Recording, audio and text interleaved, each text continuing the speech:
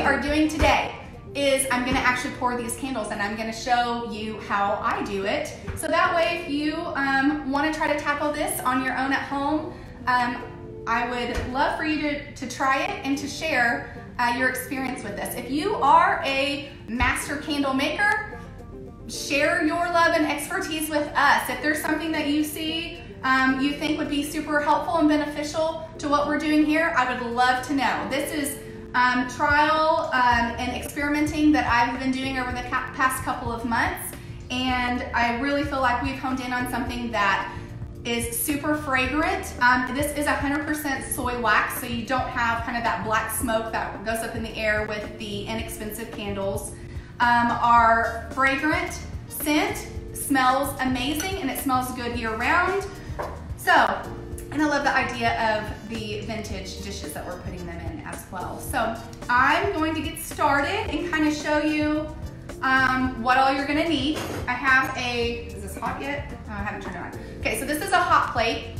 You can get this at Walmart, Target, Amazon, wherever, not expensive. And really all of the supplies that you need um, to do this are, are not expensive at all. I would say you could get everything for probably less than a $100, which for a startup kit in any craft is really probably not a huge investment. Um, this would be a really good thing if you're trying to make Christmas gifts or um, trying to start a small business. Um, I know a lot of friends that have started small businesses off of candle making and it's a very low cost um, to get started. So it's, it's a good um, way to try it out. So the hot plate, you're gonna also need a scale, a small scale. You are gonna need a thermometer. You are going to need, I'm using a hot glue gun, but you can also purchase those little squishy tacks, I don't know what they're called, but it's kind of just like a ball of rubber that's really sticky. You can get those. Um, you can also use double-sided foam pads, which you can get at a candle company online if you're looking for um, candle making supplies online. They will be on there. You will also need whatever this thing is called right here. It's all metal. We also need, I have, this is my scientific little notepad here with all my notes over the past couple of months of tweaking and adding and all of that. You're gonna need wicks. You're gonna need soy wax, which I don't know if I'm strong enough to show you, but I have a giant box down here of wood, uh, let me show you. They look like this. They're little chips of wax and you can get it, I have a, I think this is a 50 pound box of wax down here. Um, you can get it as small as one pound at a time, so don't think that you have to buy wax in bulk if you are just wanting to play around and do this. So it's sold in flakes, little chips. Um, you can get it in a big block, but that would be really difficult because um, the chips melt down really nicely and um, the block I think would, you would probably burn your wax before the entire thing was melt. So I would definitely recommend getting the flakes. I think that's it. And then your container. So where I would start is I would turn my hot plate on to medium Start letting that heat up. And then I am going to do two pounds of candle pouring. So 32 ounces, 30, is that right? Yeah, 32 ounces of flakes are gonna go in here. But before you pour, when you get your, um, whatever, scale, out, you're gonna wanna calibrate that because if you were to put chips in here and then just measure, it's not gonna account, um, like deduct the weight of the container from your true weight of the flakes. So you're gonna put this on your scale. I don't, I've had a couple of different scales and they pretty much all calibrated the same that I've had so far. This one is Taylor brand. Um, here's a close-up of it if you're wanting just to get the same one. It's really, really easy you are gonna turn it on. There's an on button here. So you turn it on.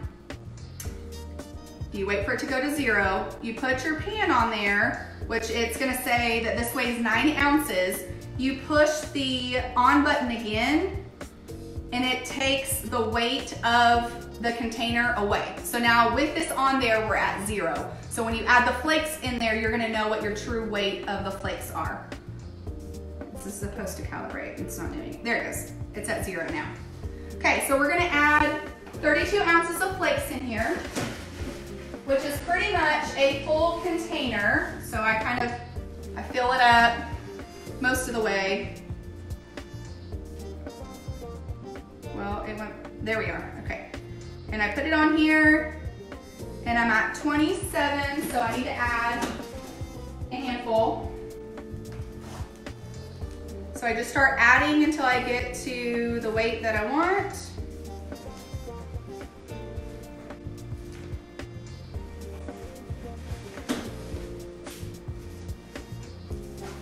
If you guys have questions along the way or I'm not covering something, please put them up there.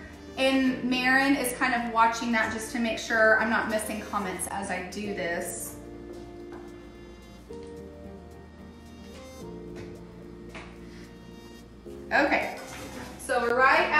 32 ounces. Now what I will tell you is there is an art to this. So you really do um, not want to fudge it at all. Like you wanna have the exact amount on everything, the right amount of wax, the right amount of oil. Um, that extra splash of oil does not mean that you're gonna have an extra fragrant candle. So be mindful of that. That's where the experimenting comes in.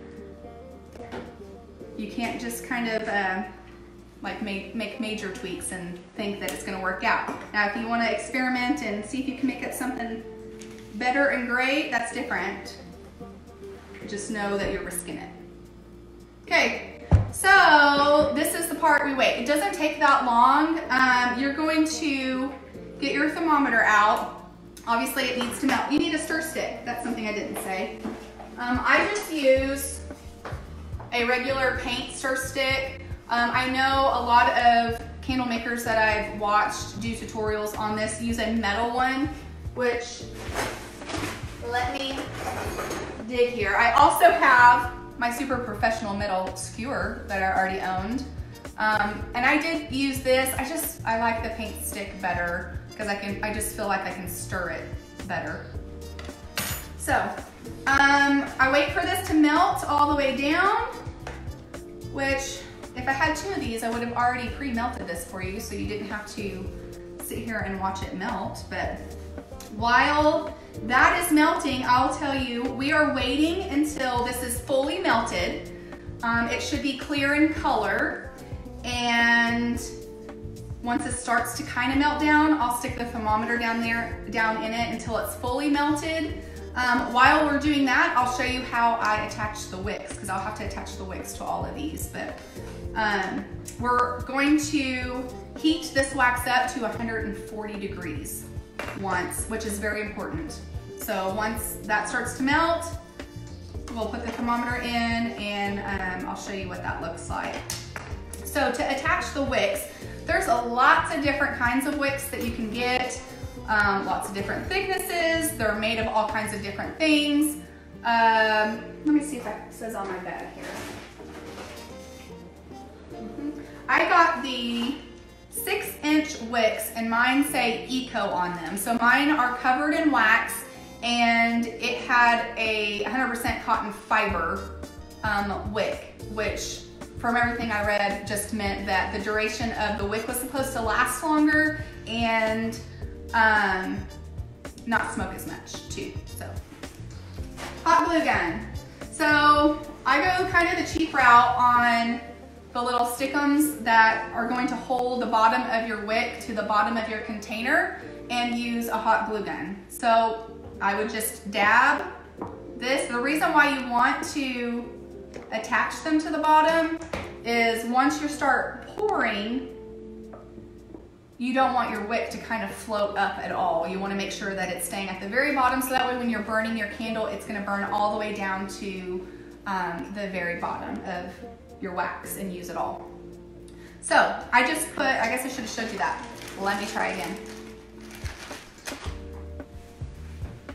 Okay, so here's what the bottom of the wick looks like. It's a little metal disc and I just put a little dab of hot glue on the metal disc here, like that, and then just find the center of my cup and just press it down. Now we're going to use you know, my very professional chopsticks, my wooden skewers, not chopsticks, and we cut them in half so they weren't so long. This is what's gonna hold my wick in place. So once we get to the part where we're pouring, this is what's going to keep my wick um, standing straight up and in the center. I have also used tape. Um, I have used Ergina's suggested popsicle sticks. Um, you can purchase, let me grab this. I feel like going like the wizard, like going behind the, I have a box of tricks down here. Um, you can purchase these little metal, I don't know, whatever you wanna call them. Um, and they kind of rest on the container just like that. And the wick, there's three different holes. So if you're needing to do two wicks or one wick, um, there's three different holes here and that just keeps it lined up perfectly in the center. And you know, um, I just went the inexpensive route instead of purchasing a whole bunch of these. Um, we use chopsticks, not chopsticks, skewers. Wooden skewers is what we use, or tape. I did tape the last time I made these. So, if you wanna be fancy, you can get your little metal doohickeys. I don't know what you wanna call them. Okay, so it's probably been three minutes. Okay, and we're about halfway there. So if I, woo, if I can show you, maybe without pouring it on the counter, we're about halfway there. We're pretty, getting, getting pretty close. So I should be stirring, making sure that none of it is just sitting on the bottom, is gonna start burning or anything like that.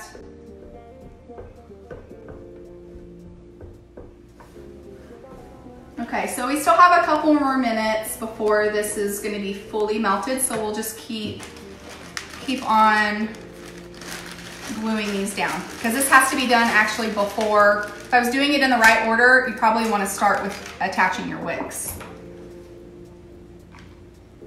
Oils for your scent. Um, so we do use essential oils. And I will tell you, um, when I ordered all kinds of oils to experiment with, this brand, let me tell you, um, it is called True Scent. Let me see if I can get it, or here, can you hold that closer so they can see? Um, True Scent, and it, when I, I'll find the company that I ordered it off of. Oh, there we are, yeah. Um, so that way if you want to order from the same company, that would be great because I have actually tried this and blends and they actually have blends that they've already done for you that smell amazing um, where you don't have to experiment with blending different types together because that can go south like real quick too. So um, this one right here smells really good too. This is called Citrus Spruce. Um, it's a really good kind of Christmassy scent. So I would check this out and they do all essential oils when they're mixing.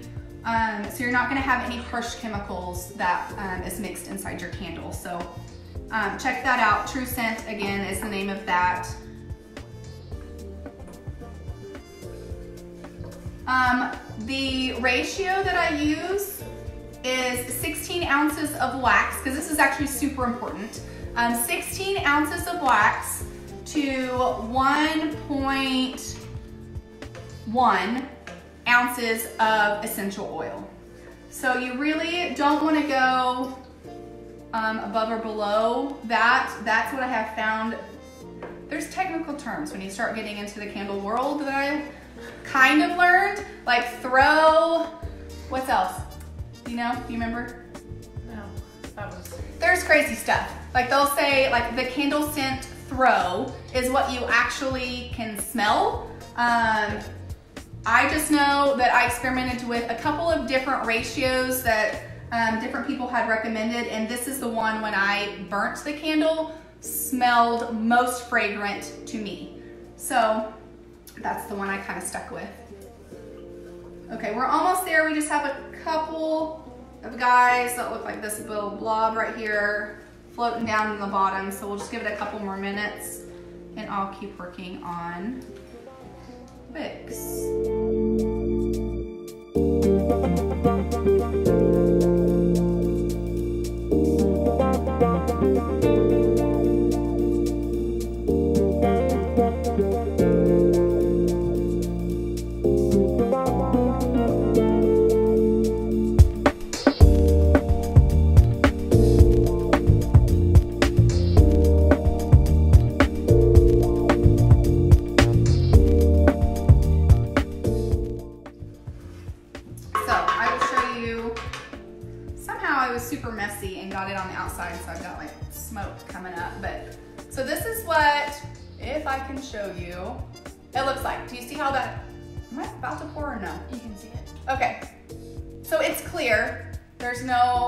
White chucks. It's not even hazy if you're wondering. Um, before it turns completely clear, it can look kind of cloudy. You don't want it to be cloudy. Um, I am actually going to remove my hot plate so I don't burn my hands. Okay, so we're gonna put the thermometer in. It has this little clip on the side um, so you can clip it to the side of the container. So that way the tip of your thermometer isn't just resting on the metal on the bottom of the container here because then obviously it's gonna read a lot hotter than it really is. So you wanna clip it to your side of your container here and then leave it for just a minute or so to get the read on this. We're gonna add um, the fragrance when it's at 140 degrees. So right now it might be too hot to add fragrance to it. I don't think see, oh, something else to think about. The width of your container. Um, let me let me stick this before I stick it to something else because I just stuck it to the side. Okay, the width of your container. So I would tell you what the actual measurement needs to be. I don't know what that is, if I'm being real honest. So I believe if it is four inches in diameter, you're fine with one wick. But if you go past that, you really need to have two.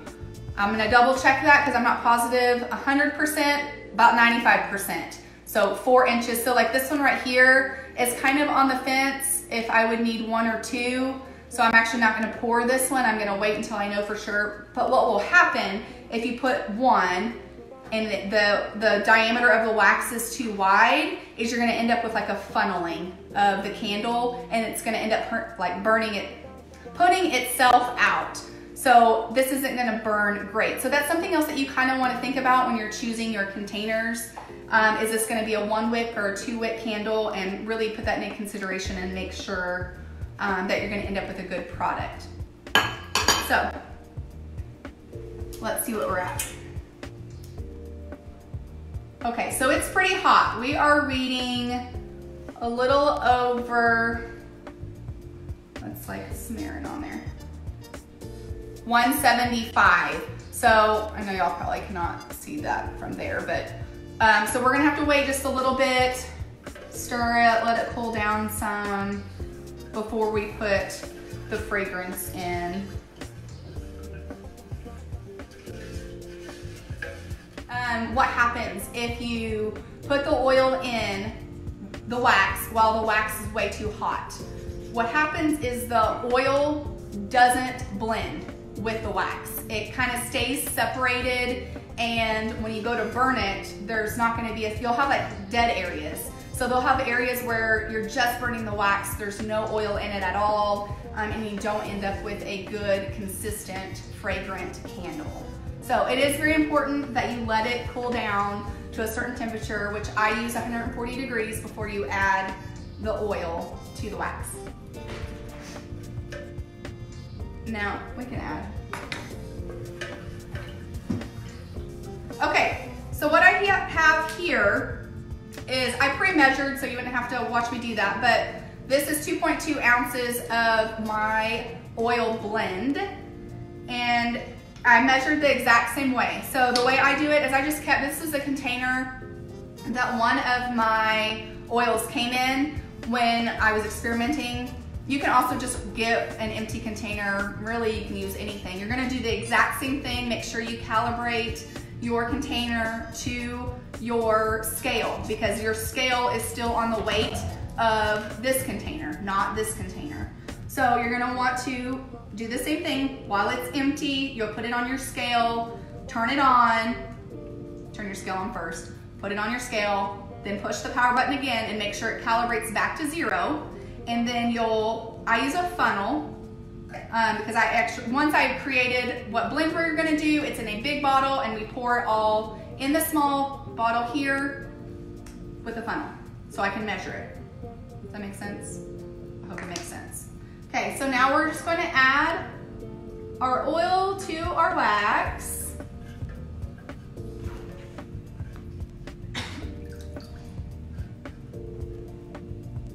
Okay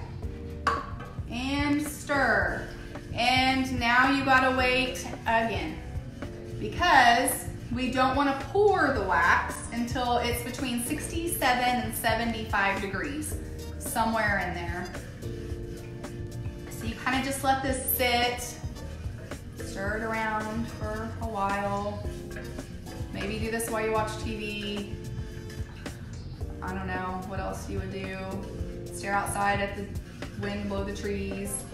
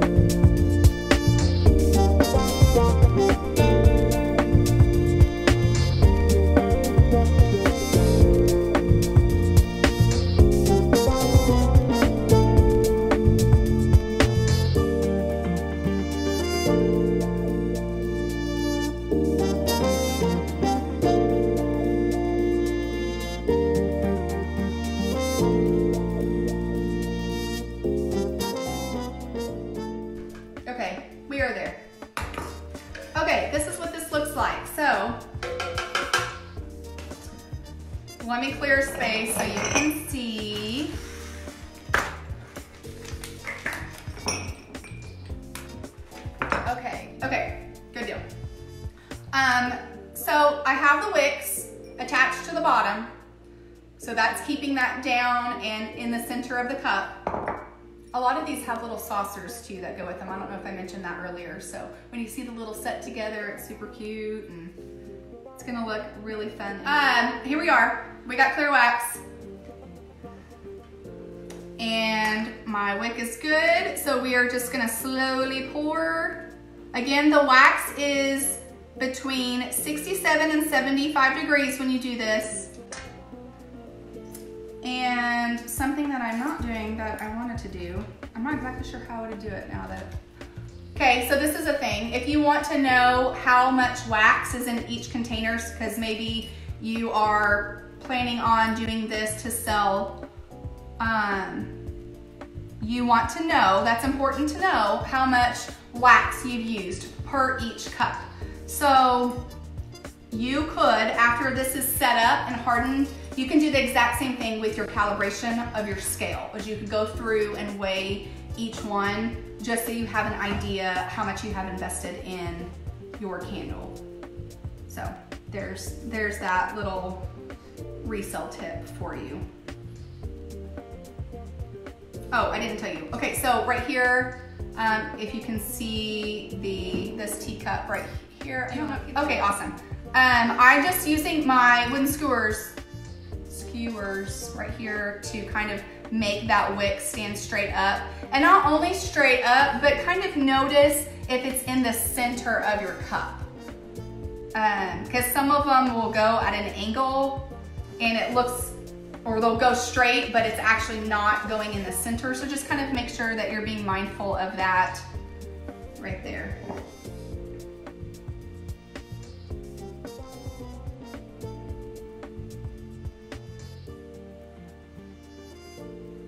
This little goblet I think is really cute. I think it has kind of like a boho vibe.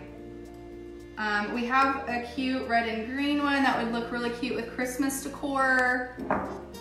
Um, all these little crystal teacups, these little vintage Germany stoneware teacups. These are really sweet, has kind of a sage green flower with this cute little green rim on the top. Here's it with, here's what it looks like with a saucer. So if you wanna get an idea of what the whole thing looks like um, with the saucer, there you go. Very darling. Here, this one's cute too. It's a, a sugar container.